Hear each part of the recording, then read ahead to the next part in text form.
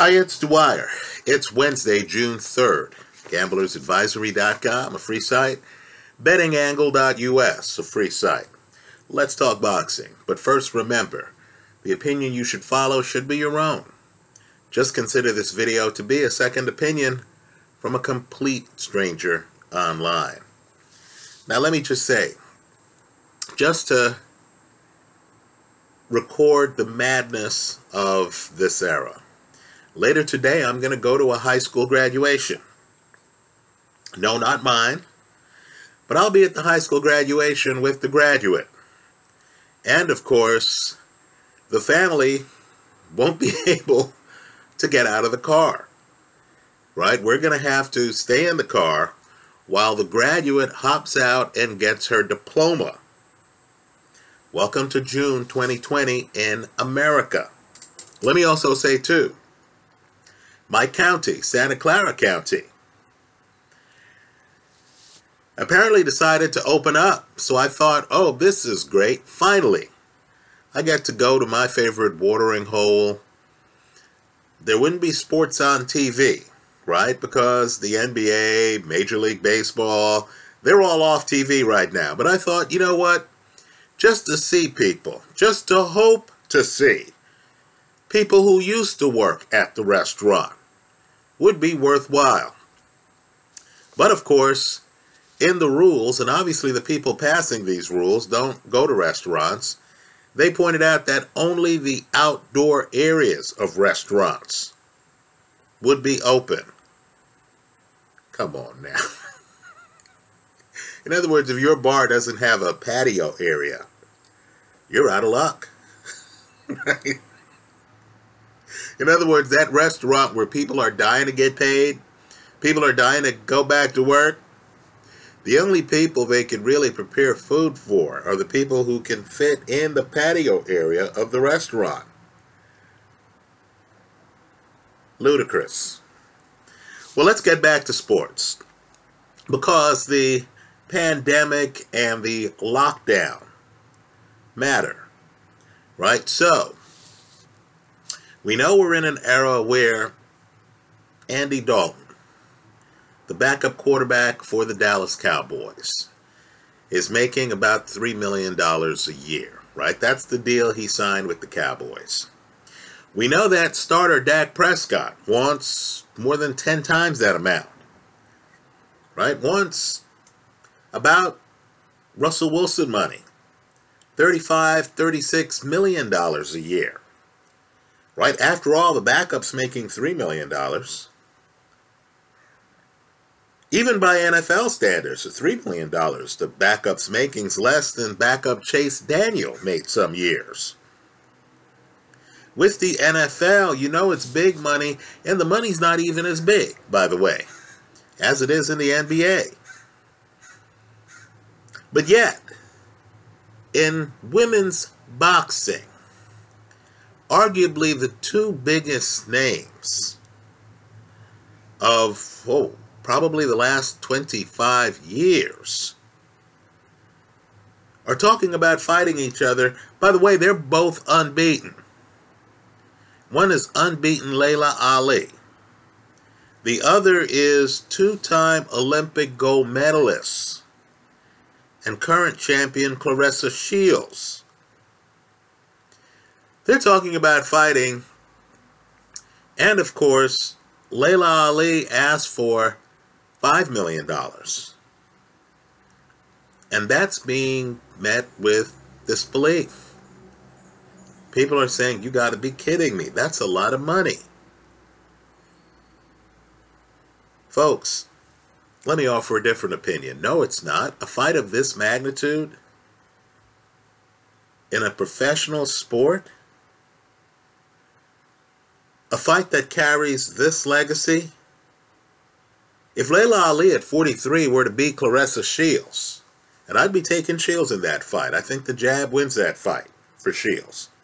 But if Laila Ali were to beat Claressa Shields, my God, that would be quite the comeback, wouldn't it? Out the ring for years, back in against a two-time Olympic gold medalist who's unbeaten as a pro, who beat Christina Hammer. Right? If Claressa Shields were to win, wow. You know, superstar already with her crowning achievement a win over a historical figure in the sport.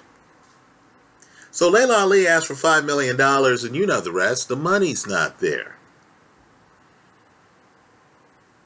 It's women's boxing. The money has never been there in any way where we can compare it to the big events in men's boxing. There's a lot of gender bias, isn't there? And of course, in this COVID 19 world, where I'm not even allowed to get out of the car, I have to make sure my camera can actually zoom in so I can take a picture from the passenger seat. Right? Promoters are looking around and they're saying, gee, well, how much money can we pay a boxer?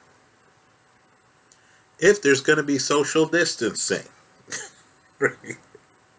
if I have to have empty seats in the arena. Worse yet, let's say there's no social distancing. What happens if fans want to see the fight and then they're thinking to themselves, you know, I really can't afford to get COVID 19 right now. Do I want to be out in a crowd? Let's say the fight's in Vegas and someone loves Vegas. Right? Some OG out there loves Vegas and says, Oh, I can't wait for this fight. Then they're hearing, Oh, there'll be no buffets. Right? Then they're hearing, oh, when you go into this bar, there's going to be social distancing. What's the point? Right? So understand the sport of boxing has changed. Let me just say that I hope boxing has the common sense. I hope promoters have the common sense to realize that this fight needs to happen. And that the way to make it happen let me make a plea here to the elites in boxing. This includes the fighters. The way to make this fight happen is to put it on the card of another big fight. Right? Have Tyson Fury, current heavyweight champion, the lineal, the WBC. Fight Deontay Wilder, the former five-year, multi-year heavyweight champion. And both of those fighters should realize that they can bring a lot more eyeballs to the party if they're getting paid on a pay-per-view basis.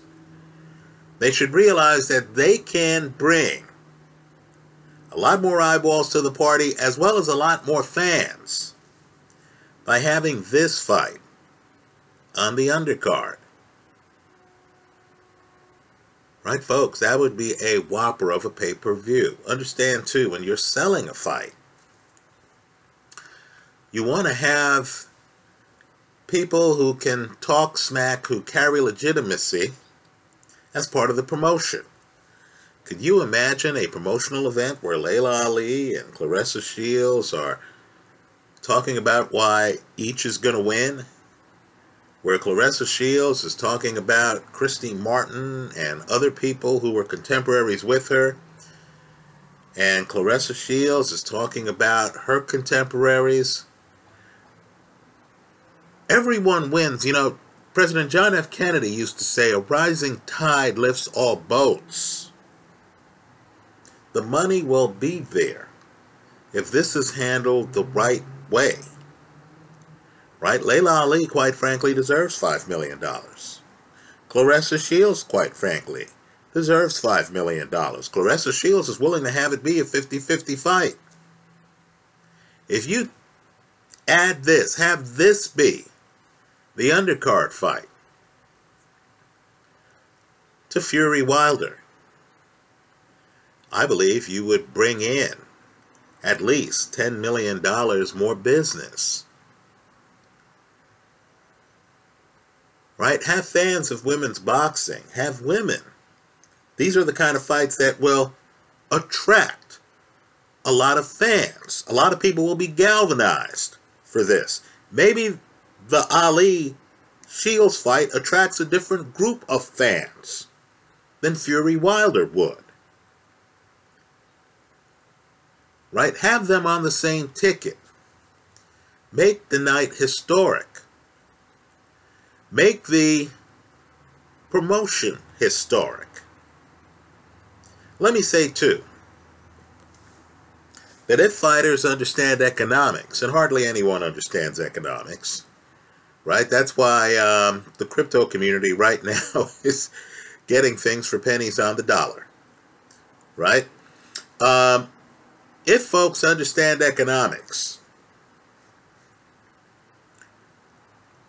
a fighter like Tyson Fury will realize that he wouldn't be able to pay for the great press, the great PR he would get by being on the same card as unbeaten Laila Ali and unbeaten Claressa Shields. Let me say, too, if you look at Tyson Fury, he's really an Ali figure. He truly is. Right? Same type thing. Uh, big, clunky era. And here's a guy who can move. Here's a guy with a jab. Here's a guy with different fight styles. I think it would be interesting having him on the same card with Laila Ali. But you and I know that probably is not going to happen.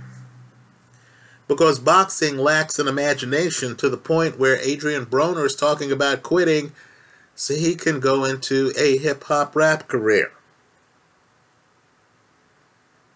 Right? Boxing is so into squeezing the last dollar that they overlook the big picture, the fans that would be brought in, the eyeballs, the TV viewers that would be brought in by really a monumental fight in women's boxing being part of a big time heavyweight fight between a reigning champ and a former multi year champion. Let me shift gears. You know, Tyson Fury was at a UFC event. The article is on BoxingScene.com. It's a good one. And he told an interviewer, Coogan, who's an excellent interviewer, that he looked around. This event was done without fans, and he openly wondered whether he could fight without fans.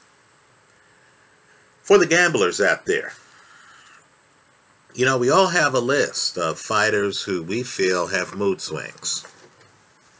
Right? Fighters who, for whatever reason, have uneven performances. When the fighter's inspired, he's great. He's bulletproof. When the fighter's uninspired, as Ray Leonard once said, and I believe Ray Leonard's one of these guys who had mood swings when the fighter's uninspired, when he's entering the ring, he could sense that it's not his night. For some reason, he's just not energized. Now, if you know a fighter really relies on the crowd for support, right? The fighter feeds off the crowd. When the fighter's in trouble, the fighter feeds off the crowd's cheers. The fighter feels he's part of a bigger cause than himself. Right? If you're supporting that kind of fighter, and understand, fighters are no different than the rest of us. Look at all the people in the world taking antidepressants. Look at the fighters who themselves have told you that they've suffered from depression. Tyson Fury among them.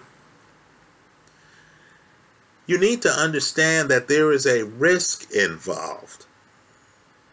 And I believe it's meaningful to have that fighter fight without a crowd.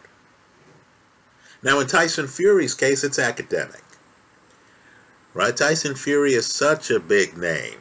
He's such a big name that he doesn't have to fight in an empty arena. He can wait until COVID passes. There's so much money involved. Even his opponent, Deontay Wilder, will understand that fighting in front of a packed arena is going to, you know, flood everyone's pockets. Right? But if you're betting on, and we'll call the fighter a Tyson Fury type, someone who's been suicidal in the past, someone who's had depression issues, someone who gains a lot of weight, isn't a math type, isn't the kind of guy who is connecting dots in the ring. Floyd Mayweather. I believe Floyd Mayweather at the end of the day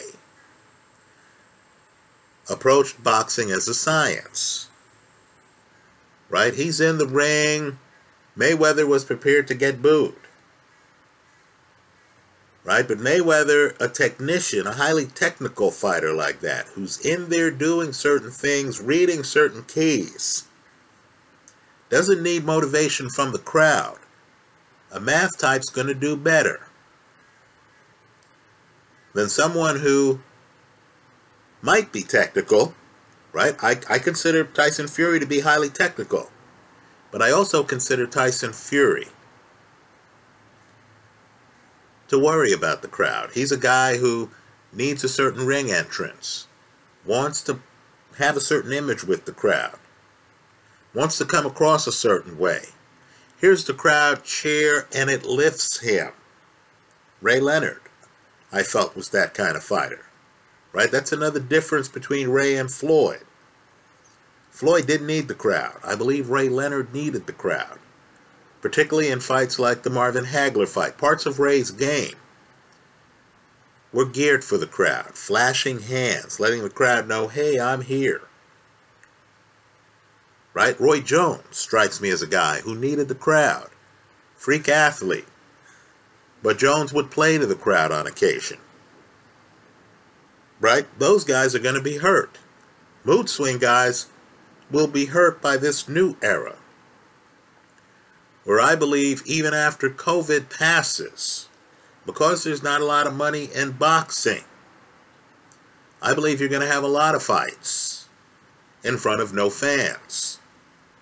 Right? Understand, when you have a lot of fans and you actually have extra costs, right? You have to rent the fan friendly arena. It can't be done in a TV studio. Right? You're paying a site fee.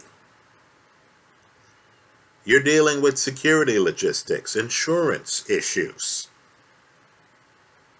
For a sport that has a very hard time, most of the time, getting more than 5,000 fans to an arena.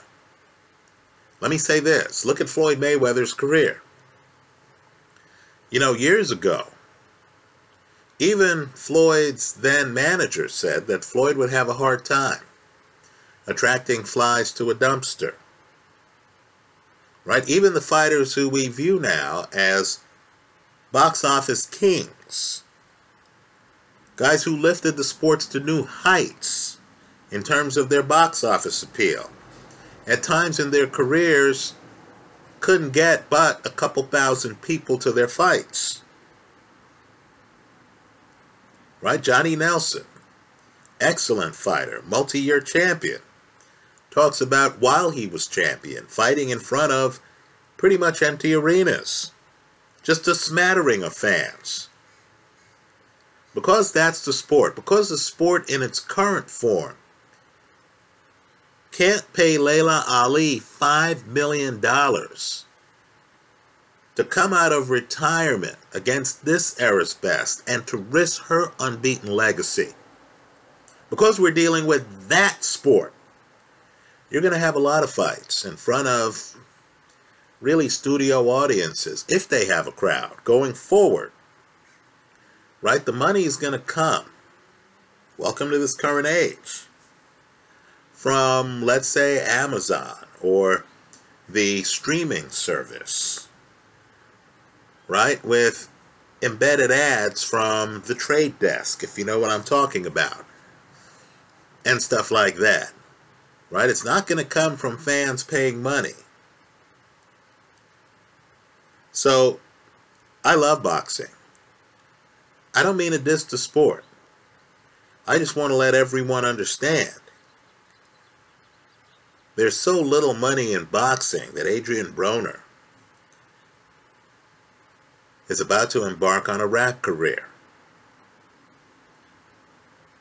Right? You're seeing an illusion where you're seeing the few million dollar fights out there.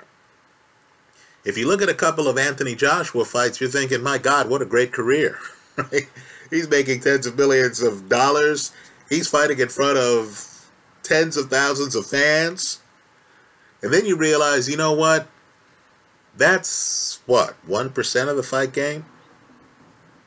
Vladimir Klitschko fought Bryant Jennings in New York City. Right? I believe that fight was at Madison Square Garden. It was not a sellout. Think about it. Don't get fooled by Canelo going places and having sellouts. Canelo Rocky Fielding, standing room only. Right? Canelo is 1% right? He's the tip of the top, right? Floyd at the end, tip of the top. Floyd early in his career, according to his manager, could not draw flies to a dumpster. Right? So forgive me. I'd love to see Laila Ali, Claressa Shields. I'd be betting big on Shields because here's one of the secrets in the sport. Male or female, Claressa Shields has one of the sport's best jabs.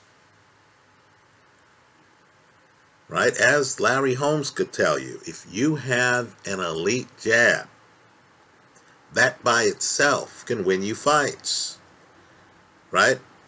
Let me say too, the perfect punch to have against a KO puncher. That's who Laila Ali was.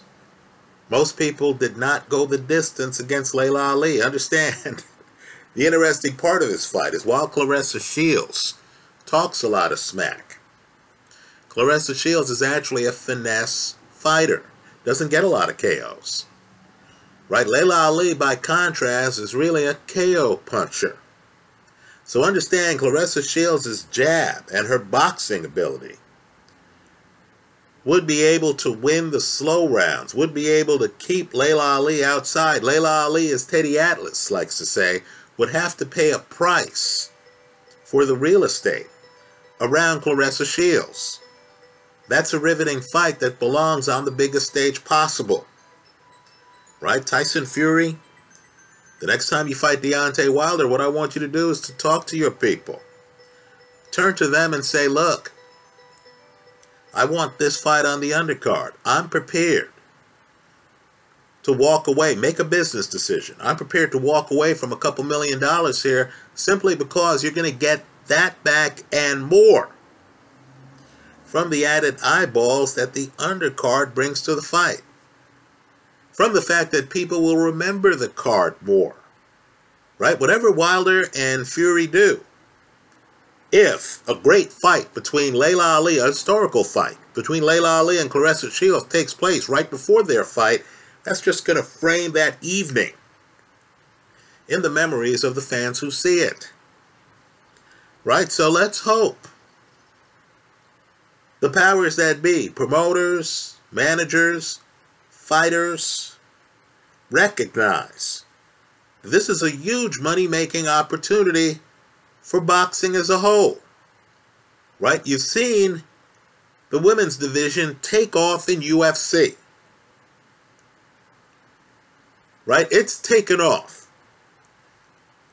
This is an opportunity for boxing to get a similar liftoff off a fight that, quite frankly, would feature two unbeatens, two different generations, in something riveting. That's how I see it. Let me hear from you. Let me add this too to the no crowd thing. There's certain fighters, and they're great fighters, right? Pacquiao, Canelo, who enter the ring. I'll include Joshua in this, right? Who enter the ring with what I believe is a two-round advantage. Right? The crowd is hyped. You know when Manny Pacquiao enters the ring, it's a big moment in the sport. Pacquiao enters the ring. He always goes to a corner. He drops to a knee. The crowd is going crazy. All of this is before they touch gloves. Right? You look at Manny Pacquiao and you think, just like you did with Elvis Presley, you think, you know what? Pacquiao is in the building.